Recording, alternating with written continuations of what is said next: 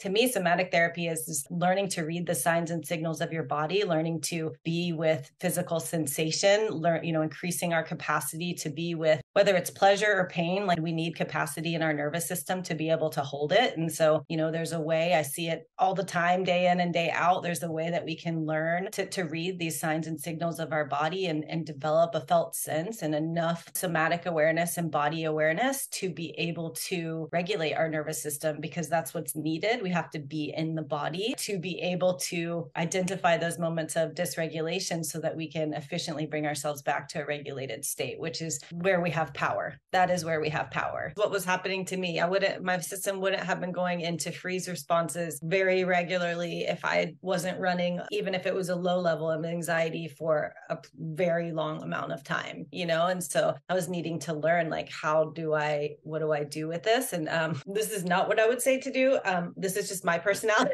when I was like waking up with like 10 out of 10 anger or like 10 out of 10 heart anxiety, I would recommend this technique, which is just going into the ocean and screaming under the water. It like saved my life.